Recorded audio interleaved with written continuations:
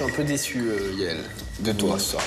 En fait, moi, ce qui m'embête, c'est que euh, toute la semaine, en fait, on s'est tous donné à fond. Et en fait, euh, j'ai l'impression que t'es pas du tout dans la compète, hein. Que tu t'es pas donné à fond, que tu nous sers, euh, je sais pas, c'est Oui, tu banal, me l'as déjà ça. dit au début. Oui, oui, bah je te le répète, histoire que ça Oui, rentre. repeat. Ouais, j'aime bien répéter, histoire que ça rentre dans ta tête.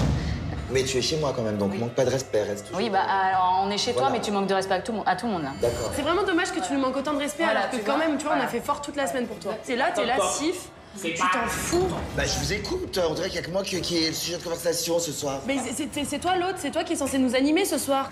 Vous voulez du grand spectacle Vous allez en avoir.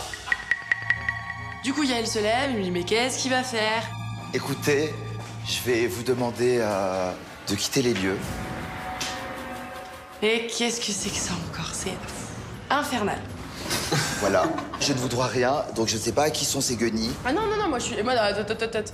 Moi, non, non, moi je suis là pour le dessert. Hein. Eh ben, vous allez le manger, le dessert. Non, mais euh, il est sérieux là Euh, Moi, le dessert, c'est le moment que j'attends le plus dans une soirée. Euh, je vais pas partir à ce moment-là. hein. En plus, j'ai faim. Moi, je reste ici. Hein.